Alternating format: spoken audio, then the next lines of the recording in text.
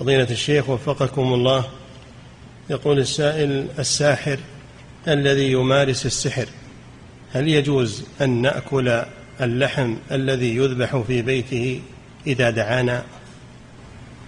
يعني يجوز لكم تروحون للساحر حرام عليكم. تروحون للساحر وأنتم تعلمون إنه ساحر ولا يجوز إقراره هذا يجب الأخذ على يده إما بالقتل وإما بالطرد من البلاد. نعم. صاحبون ساحر ما يجوز هذا. نعم. إعداد مشروع كبار العلماء بالكويت أعزها الله بالتوحيد والسنة.